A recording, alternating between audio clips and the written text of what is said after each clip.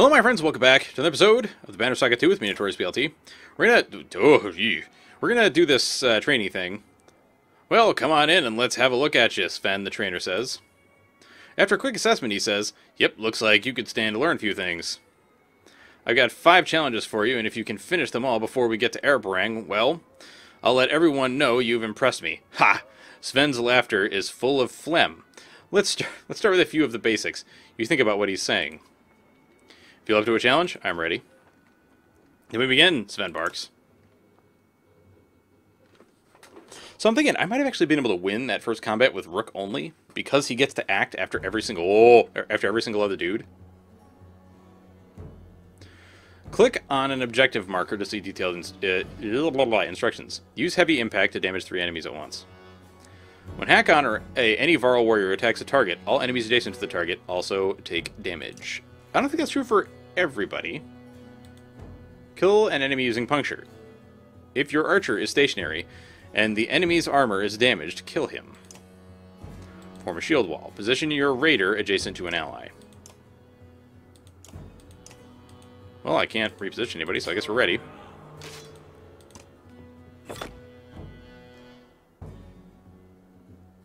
Yep. Alright, see what these guys do. Kills grant self and adjacent allies will. Okay. You have a strength of 8.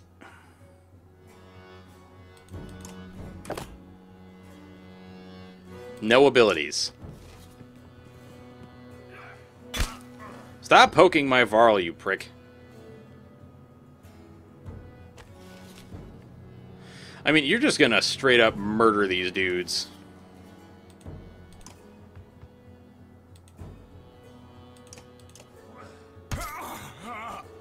Come at me, bros.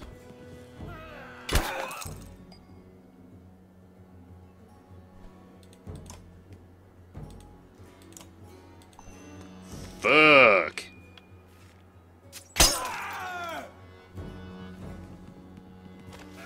Yes, group up, please.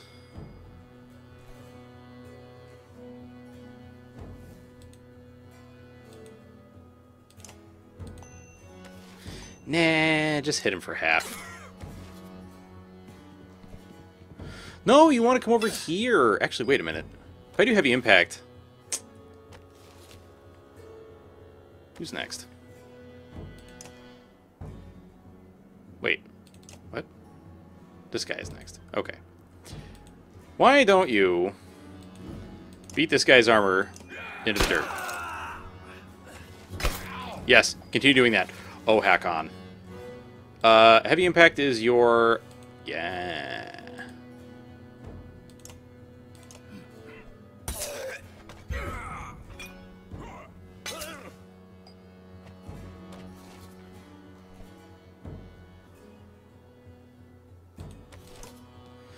Please just don't kill this guy. I really just would like for him to, uh... Yeah, I, I'm basically just gonna, like, I'm gonna wait for him to... Oh, fuck. Oh, okay. You know what? Keep stabbing my, my shield boys. That's fine. They're fine. No.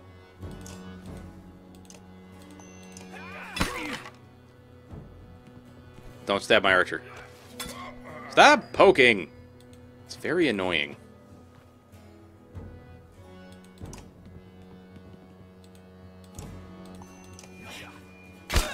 I'm basically trying to get a thing so that I can kill somebody with puncture. Hacky boy, what do I want you to do, dude?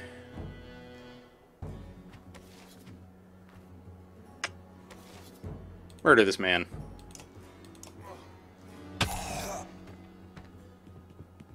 No! Don't stand next to me, you dick. Shit.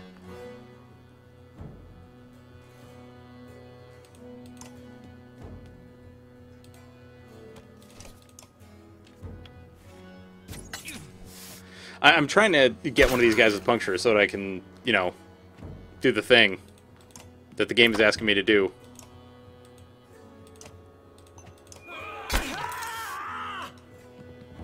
Just poke somebody that can... That, that's okay. Well, not that they're okay, but... I think you know what I mean. Who's next? Then it's Hakon, then it's you. Fuck. Alright. I want you to block anybody from getting over here. They can't really hurt Hakon that much, I don't think. Who's next? Alright, so that guy is next. Uh, you can get to the archer. Um, move here, though. He can still get to the archer. Fuck. Just poke. Not, no, no, no! There. Kill somebody with puncture. Bang.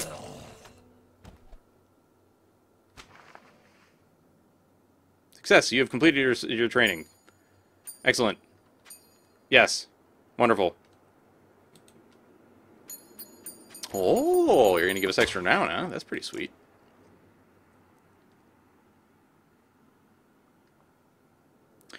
Check uh, check back frequently for more challenge uh, challenge sessions, or spar anytime you like. Okay, now I gotta talk to you. What's up? Ah! You watch for a moment as Ivan, Juno's apprentice and the mender found nearly uh, dead at Ridgehorn, moves his staff in a complex pattern, repairing some armor. Not a bad festival trick, right? I've seen worse. And I've seen better, like yours back in Boersgard with stopping Bellower.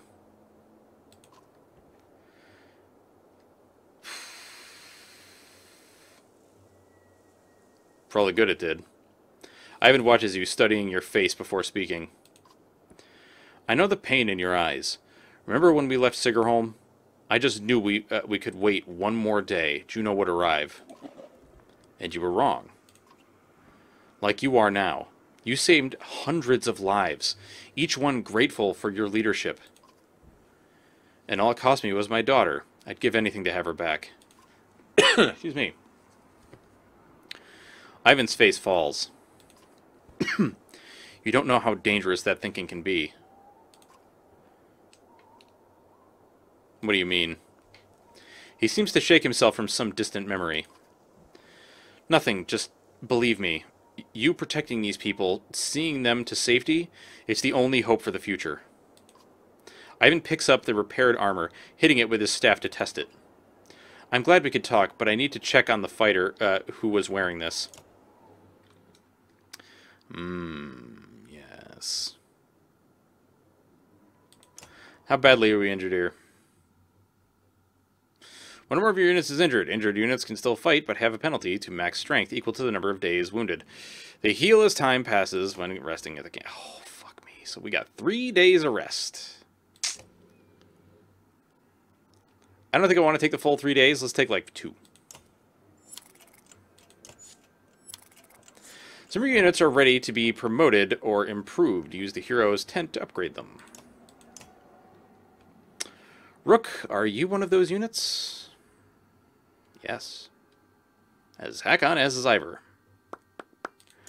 Oh, Iver. Fuck yes, dude.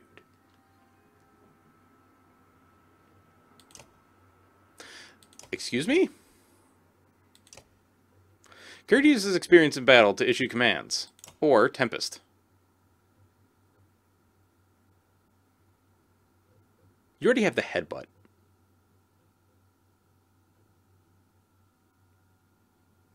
Would Tempest be a good addition?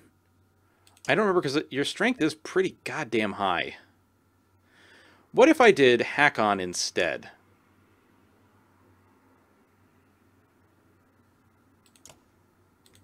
No, ah, ah.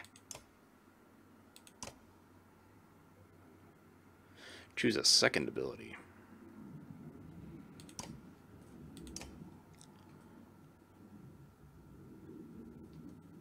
Honestly, like, I'm a big fan of Tempest.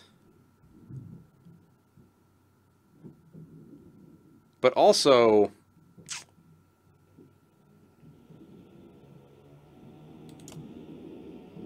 Man. Forge Ahead is really good.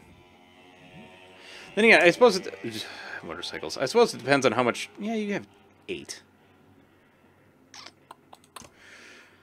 I think we're gonna beef you up with some Tempest.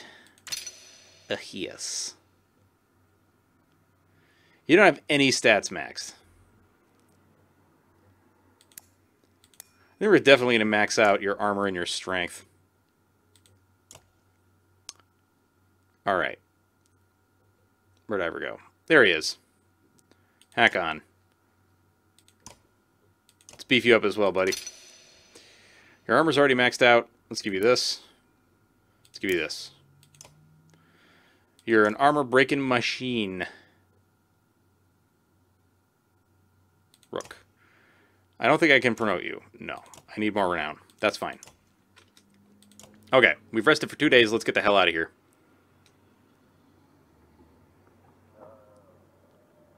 Yeah, let's go. Everybody should be happy with the rest that they got. Let's move it.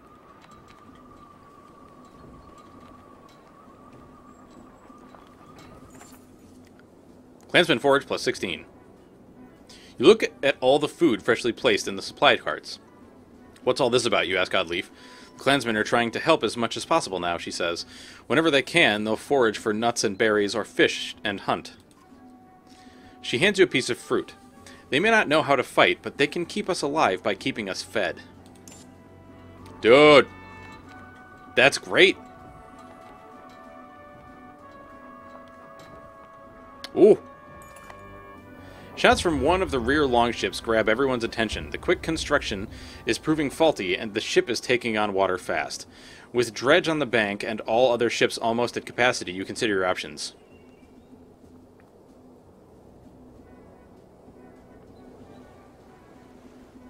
Bank the longship for repairs. We'll fight the dredge. Ropes are th thrown to those aboard the sinking longship, and it is hauled uh, toward the bank. A few dredge appear, but keep their distance. Their glowing eyes and strange hums unnerve the caravan as workers make necessary repairs. Fuck.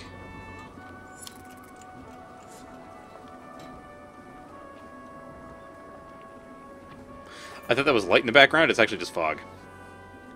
The crowd begins to cheer from one of the longships as a man struggles with his fishing net.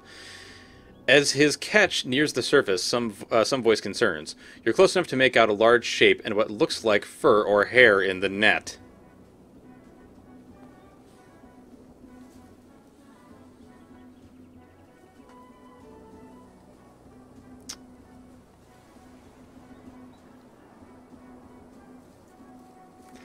He's probably pulling up a dead animal.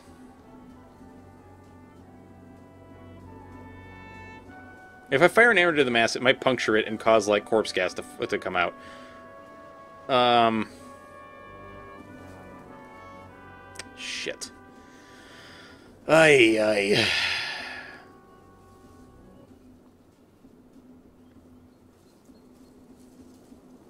Then again, maybe they have hairy fish. Who knows? Bear cub, shouts the man with the net. Long dead, what's it mean? Superstitions blow across the ship like a gale. Talk of plagues and famine make eyes go wide. You notice Bolverk at the bow of his ship, staring at the cub and brooding more than usual. Fuck. Maybe we should stop. Let's rest. God damn it. Also, I guess we can see if there's more training to happen. Alright, let's have a look at you, Sven. The train okay? Uh... What can you show me? Plenty, Sven says, walking to a large tent. Try to keep up. Knowing how to not hurt yourself, children can uh, can do that, Sven says. Show me you can actively mark prey. You think about what he's saying. You feel up to the challenge? I'm ready. Then we begin. Mark prey. So he's probably going to ask me to use my regular, uh, not my regular ability, but my, my ability that causes the people to hit and shoot. Yep, there's there's Rook. What are my objectives? Use mark play, play, Mark prey and have four allies strike an enemy.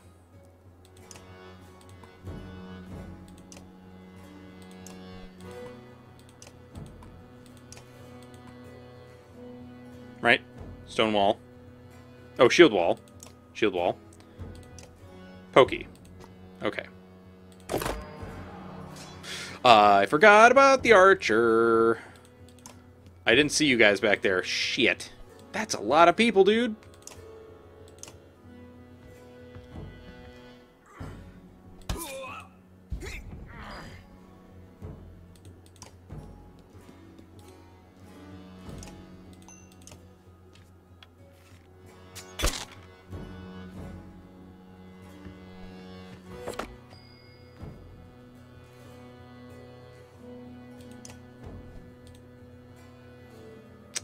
Strength is not very high. Uh...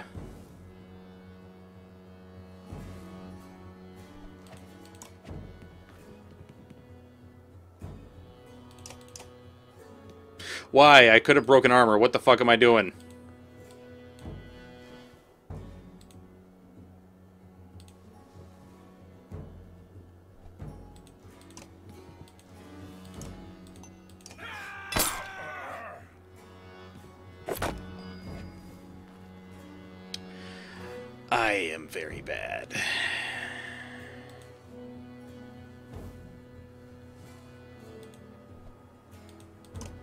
Get in there. And be a giant distraction.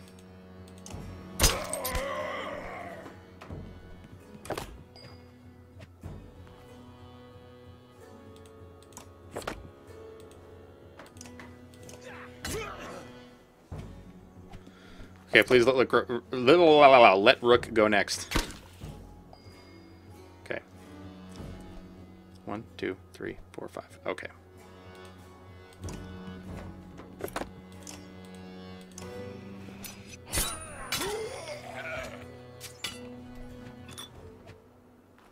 Wunderbar. That's a lot of freaking dudes, man. So part of the reason I wanted to do this was because I wanted to uh, see how much renown we would get, if any, you know? Dude, that's a really good amount of renown. For one little battle like this? Hell yes. Okay, let's rest. Morale improved. Ah, great morale. Liking that? Okay. Our heroes. Uh, I wanted to improve Rook. Promote. Uh, huh. let's get you some breakage. I, I, I will look into giving you other abilities later.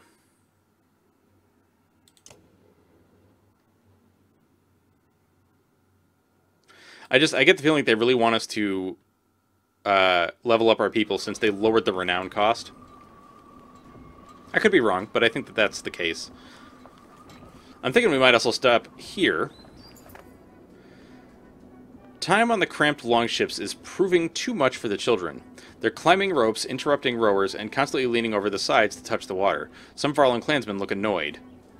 Remind everyone that this will soon be over. Say nothing. Keep your kids by your side. We'll, uh, we're at war until Arberrang.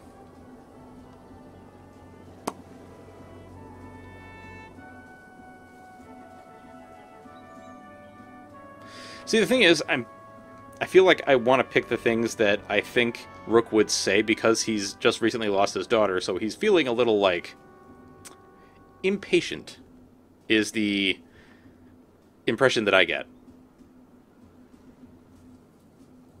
Keep your kids by your sides. We're at war until Arberrang. Some mothers give you irritated glances, while a few Varl smile in your direction.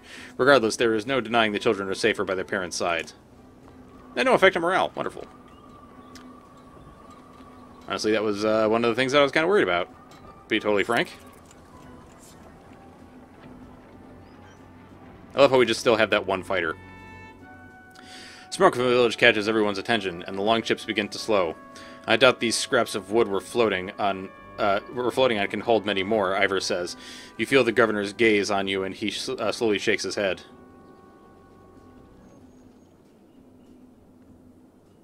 Want me to turn my back on them? They might resupply us for our trouble. Iver cocks an eyebrow, and who will resupply them when they realize the trade routes are blocked by dredge? You give him a look and wave the ships uh, to shore. When the ships land, you and a few others rush toward the smoke, but the closer you get, the stranger the situation. There's no sounds of battle or people panicking to put, the, uh, to put out fires. Keep going, Bolverk growls. We'll, you, uh, we'll see what the, what the dead are carrying. The Varl's comment defies tradition, but so do many things about him. Shine the village and investigate. A barn is the only thing burning. No one is around. Unusual, Oddleif says. Some kind of trick? Feels that way. Let's get back to the ships.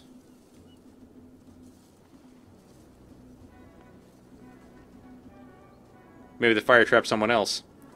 While everyone looks for buckets and water, some Varl carry a full yaks through the uh, through to douse the barn. The door and front wall are soon smoking charred remains, easily kicked open. Unfortunately, there is nothing of note inside. After a slow trudge back uh, to the others, Rugi stands aboard a ship shaking his head. Some thieving bandits ambushed us and took off in a supply ship while you were on your do-good mission, he says. We'll be even more cr uh, crowded now. Uh, glad you're at the helm. Oh, fuck off, dickhead.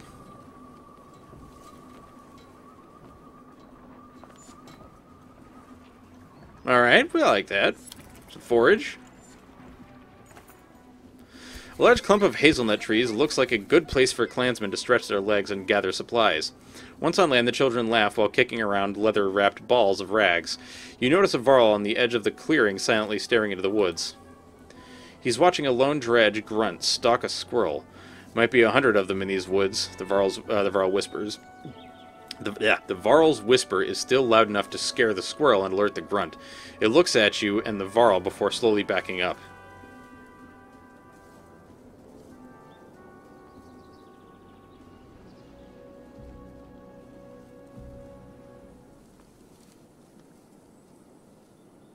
Watch the dredge. Track it if possible. The grunt runs away. You silently follow, but stop when you discover a clearing with a few small animal bones lay, uh, laying about.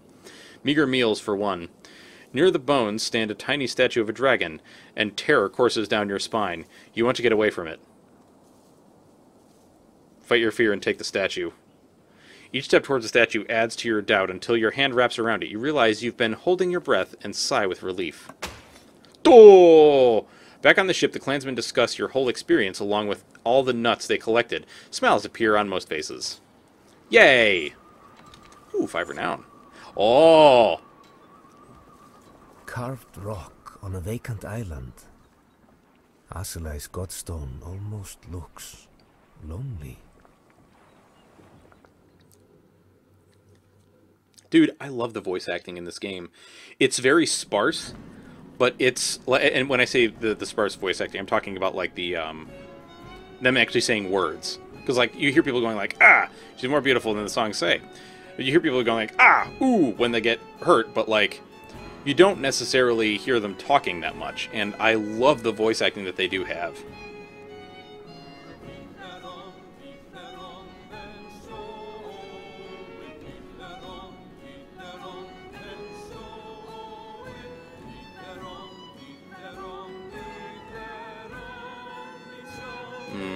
Oh, what happened?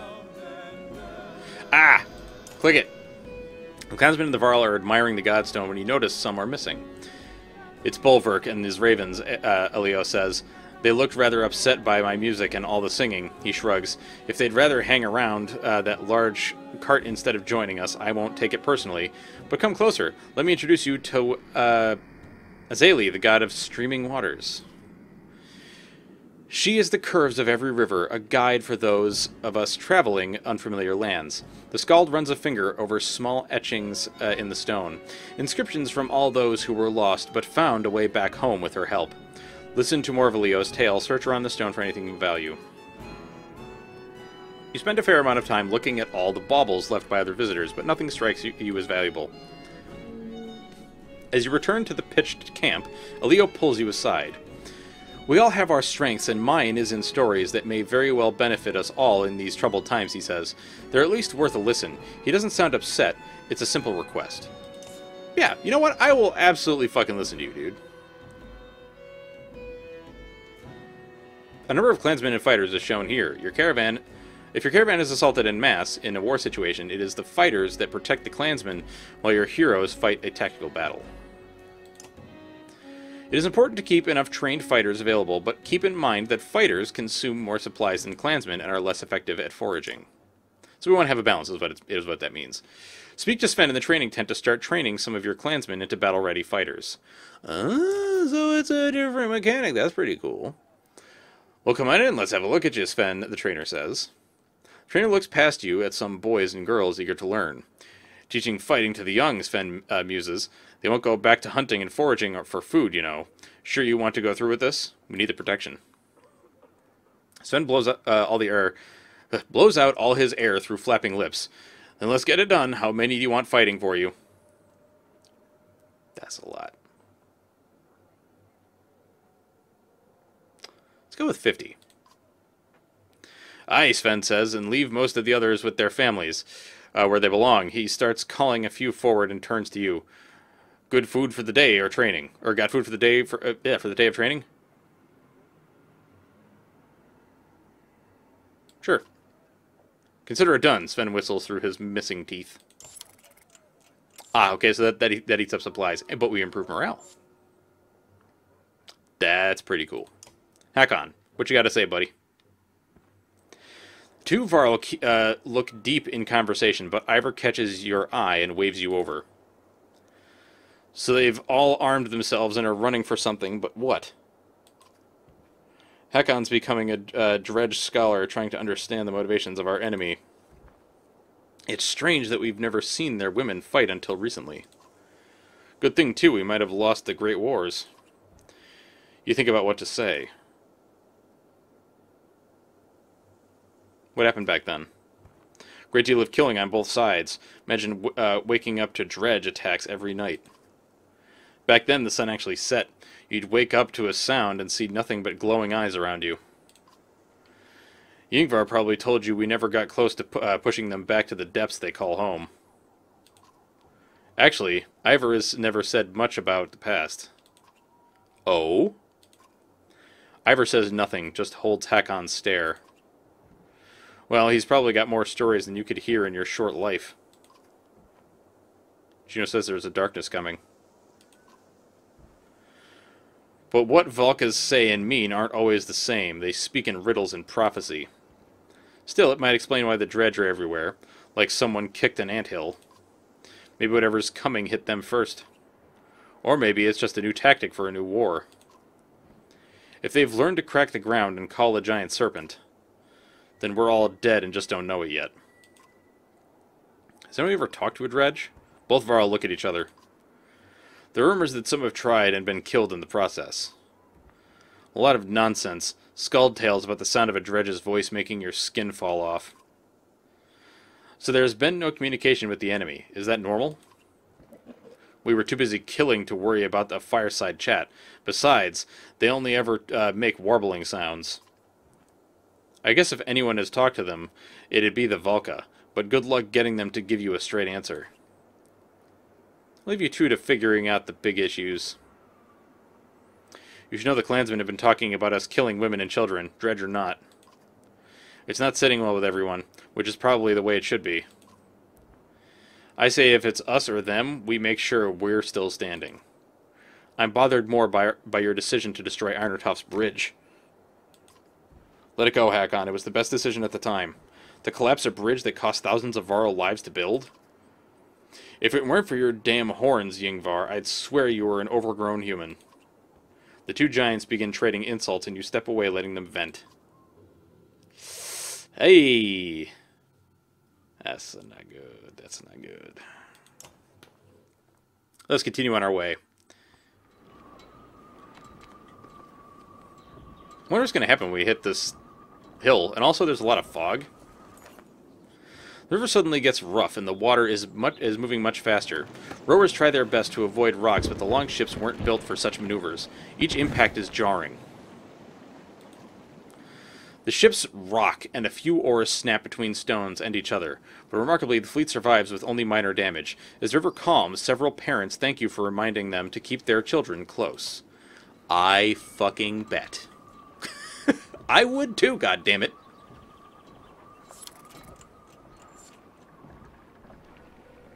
Hmm.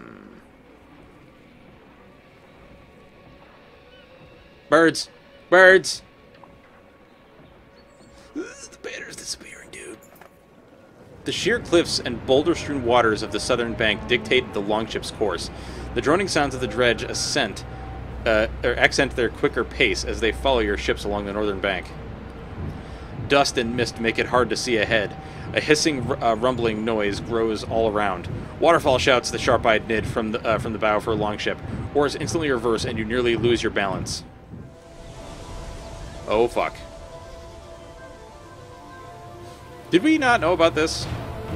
Then again, I guess maybe we wouldn't.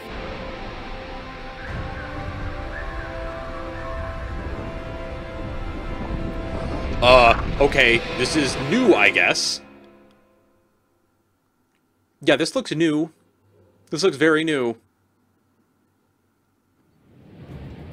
Ah! Stop! Stop the freaking caravan, dude! Camp! Camp! Do something! Ugh! the approaching waterfall clouds your thoughts. The ships struggle, but their light weight makes them able to pull away from the river's deadly current. The thought of what more uh, what more clansmen weighing down the ships would have uh, done makes you shiver.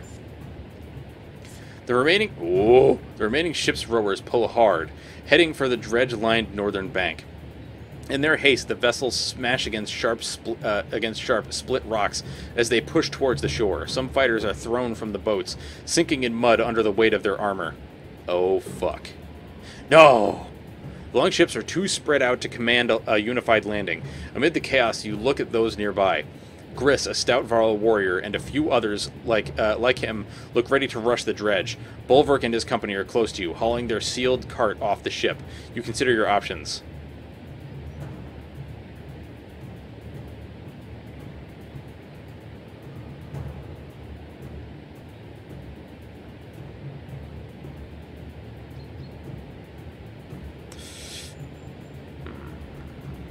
Charge!